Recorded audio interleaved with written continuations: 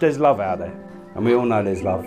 We went for a few drinks and we started to get to know one another. I started to realise that this beautiful lady next to me was actually something that I was missing in my life.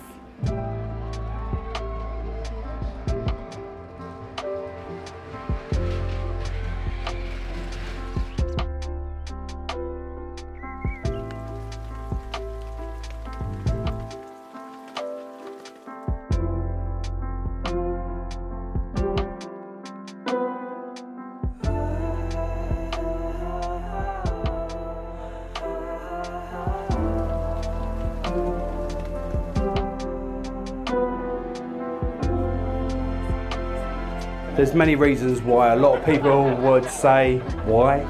So I'm here to tell you why. It's not because I'm uh, tall, dark and handsome. It's not because I'm athletic. However, the fundamental thing is, and we've got to realise, she's got bad taste in men.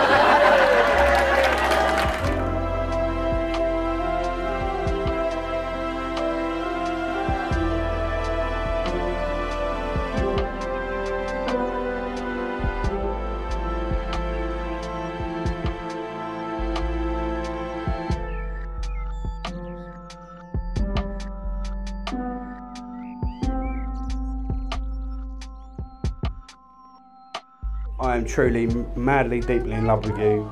And it's certain things that happen at certain times. The first time we went for a drink together. It's the first time I flew her away. We went to Dublin together and she was really nervous. It was the first time she was on the plane and I felt it was the time that I had to look after her. I would actually do anything for you. I would absolutely do whatever you wanted me to do because I love you so much.